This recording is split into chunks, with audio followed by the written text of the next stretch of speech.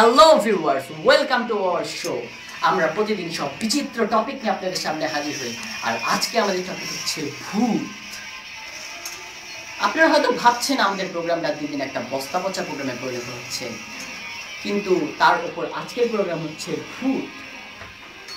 আপনারা অনেকেই হয়তো ভূতে বিশ্বাস করেন না। ভাবেন ভূত বলতে আসলে কিছুই নেই।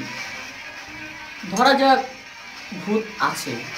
শুনেছি তারা নাকি গায়েব হতে পারেন। আসলে কি তাই? দেখা যাক।